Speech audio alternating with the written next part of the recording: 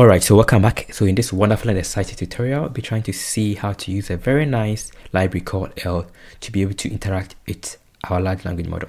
So you already know the normal workflow and the basic landscape of large language models.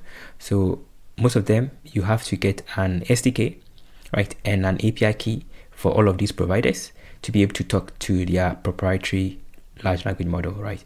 So uh, through the API or in case it is open source, you can just get it as a package and then you use any of these libraries to talk with it, like Llama, C++, or Llama, Llama file, or LiteLLM. Or you can also use LangChain, which gives you both, right? So that you can talk to these SDKs to their respective API and respective large language models. So the other side of it is that we can use a programmatic approach, right? Using DSPy or ell. So ell belongs to this programmatic approach. So let's see how to use it. So I'll first start with a simple approach using Groq and talk to an API. And then you see how to use ell to be able to do the same thing. So I'll just come down here and then let's install. So pip install Groq, right? I'm going to install Groq. I already have it installed. And then I'm going to create a simple file. I'll call it as uh, brain.py then I'll open here, right? So when I open here, you can see that I have my env with my key there, and then I will start working on it. So let's start with the basic approach. So from groq, import Groq, right? And once I import it, I can just create my client that I want to talk with. This is the same thing for in case you're using OpenAI. And as you can see, it takes in the API key. So you can just pass in your API key here but I can just open so from dot env import load. env and then I'll load it from here right? Right so my env is here right? That's what I have here and that's what I want to open automatically load it. And it will automatically be used here. Now how do I talk with it? I can just go straight away and create my chat. So let's go to chat. Then client dot dot uh, we just go straight away with my chat completion. So let me paste it and then we will just see how it works. So this is a simple approach right? So this is how we do that. So just straight away so explain the importance of low latency LLM you then you specify the model and then you just print it out. So print my chat and then the completions chat and then my choices. Then you can just print whatever you want to do right? So message. Content. So this is a simple approach right? So now in case i want to work with it i can open my terminal. Let's open my terminal here. Inside this location and then let's pin my bash. Perfect right? So as you can see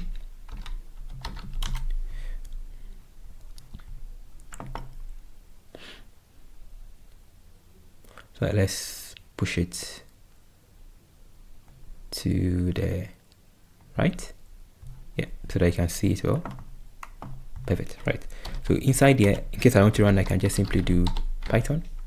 It's not clear enough but yeah we can just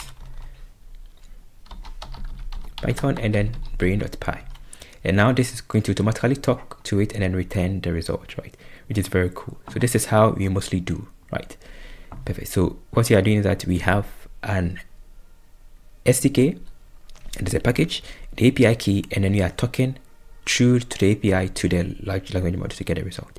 But we can do this one in a programmatic approach which is okay. This is programmatic. You can still do that but you are just sending a test to that right?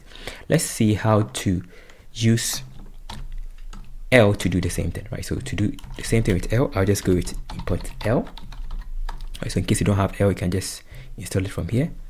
So pip install ell AI and then you can just go with all. It has different providers so this is going to install all the different providers that we have here. So for OpenAI for Groq for Ollama for now Anthropic. Perfect. With their SDK and then I'll just go back again to my brain right? That's then how do you use it? So the simplest approach is that you can just go with ell, then it works with decorators. then I can just load my env as I did here. So let's load it from here. Right and then I will just go straight away. After loading my env all I need to do is that there are two ways right? First because I want to use Groq I'll just have to initialize and register it. So ell dot models dot as you can see there is so many. There is Groq like there is uh, Ollama there is Anthropic right? So there are many of them right? But I'll just go with ell then Groq. Then I'll just specify that I want to register the model. So register. This is important. So this registering means that it's going to register my model and pick the right client to use right perfect. Then I would specify here. So it works I just write my function. So let's say what is then this function will take in a term and then it take in my type right? And then there are two options here. You can define the system prompt. So here is the system prompt. So you can just say um, you are a you are an assistant right you can do it like this. But it, for now using the system prompt will not work. This will fail right? So just take it off and just go straight away with the normal user prompt. So i can just go straight away with this. So define what is right? You want to define whatever is there. So this is where you write your prompt. So this can be any any of the prompt whatever thing that I, I place there right? This can be your prompt whatever thing that you want. And this here is the user prompt right so any kind of prompt you want right? Any all the test there. And then how do you convert this one into something useful programmatically? All you need is you need a decorator. ell and there is two options. There is simple and there is complex right? So with complex you can supply tools so that I can do tool calling right? And then with the simple you just go straight away with the simple. You specify the model and the client right? So let's go with the simple then I'll pass in my model the model I want to use. So the model I want to use is the same model I used here right? I want to use this same model here from right. So this is the model I'm using. Perfect. That is all that you need right? And then I'll just save it. So let's run it. So what is just passing something what is um large language or model right what is large language model so this is define this now if I want to run it I'll just come down here let's clear off this and let's run it again and now it's going to talk to it and then return a response, right? So it did talk to it, but because I did not print it, we could not see it, right? So let's print the response so that you can see the response here. And now if I run it, going to see the response coming, right? Perfect, right? So this is how to use ell, which is a very nice interface, right? All you need is you just import ell you register your model. So we are using Groq as a provider and then you just specify, you decorate it right as simple and then you just specify your prompt here and then you move on with this. That is how to use. Of course, there are a lot of things. You can also track all that you are doing in case you want to track all the models because it's very expensive, right? To in case you are trying to experiment, you can initialize a studio. So you go with ell dot init then you specify that you want variables to be true right and then you specify the store and then this one is going to be some logs so i'll just go with my log directory right so this is the format. And with this we can track all the things we are doing. We can log all of them. And as you can see from here there's nothing here. But if i run this so what is large language model? I can also run another one. Difference between llms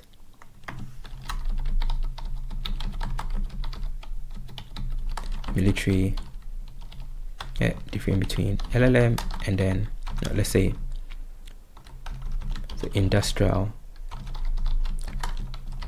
applications of LLM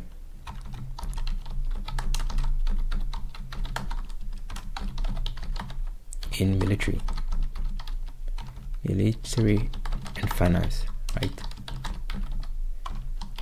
So let's see. So this is one way and as you can see we have two stuff. So it's going to define this right? Define or we can just specify change the prompt and give it a different prompt as you wish. So let's run it again.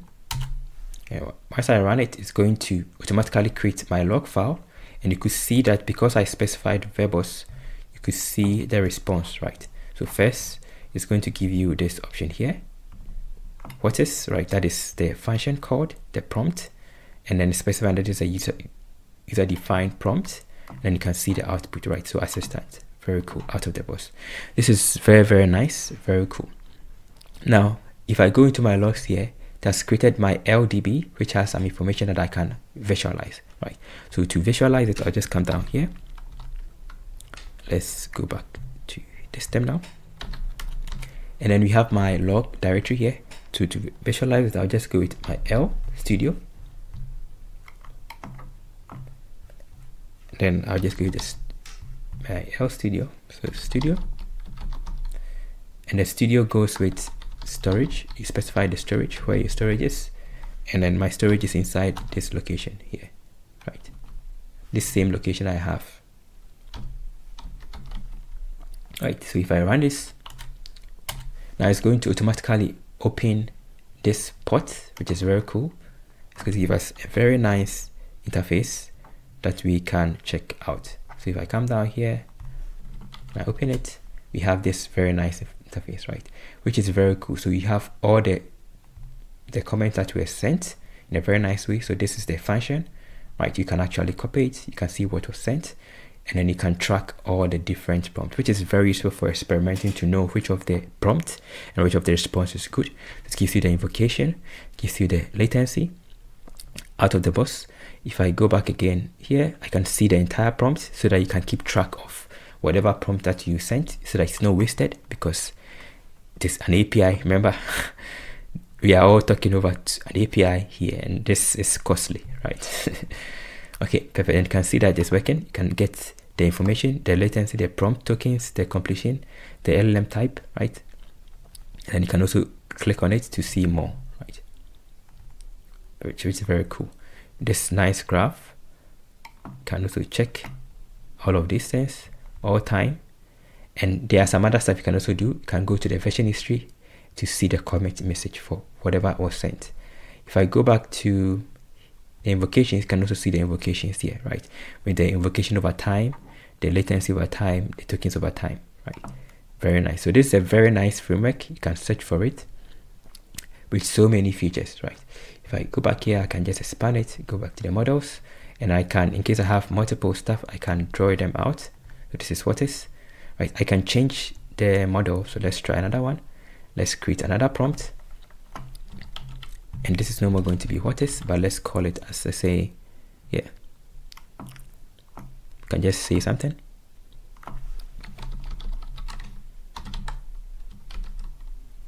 A summary, right? Write a summary, something like that. That is my prompt. And then summarize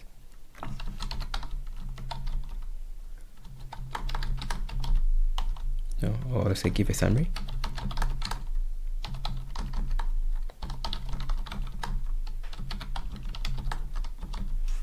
Yeah, right so this is my prompt and I can just go back again and let's hide this. We don't want to call them again. We have this function and then I'll say write a summary about not just industrial applications but a summary about um, distributed systems. And then LLMs, right? So distributed systems and then large language models, right? So I can now run this. And once I run, you can see the result. So you see the prompt coming, which is very cool, very fast. Groq is super fast. I like Groq. You can see the question, right? Write a summary, the prompt, and then the response that was sent and if I go back to my option here I refresh it let's go back here so here have my question what is here which you can track. And then I go back again. We have my write a summary the version one. And then you can see the response there right? Which is very cool. This is so wonderful so cool right? Very nice. So that is something i wanted to share with you with uh, ell. So there are so many things you can do with it, right? You can apply the same thing for OpenAI. In case you have your own client, you have Anthropic, you can also use the same thing with Anthropic. There are so many things you can do, right? So there's a simple explanation of how to work with GPT by this by default. And then also in case you also want to do some complex stuff, you can also check it out, right? In case you want to do tool calling, you can also check it out. Maybe in the future you'll try and see how to work with tool calling. So thank you for watching this tutorial and see another session. There is another way you can also use it, right? So this is one way, but you can also pass in here your client. Right, so in case you have your own custom client, you can create a client and pass in your custom client. Right. So maybe another time you, I'll show you an example of how to do that. Thank you for watching. See you another time. Stay blessed. Bye.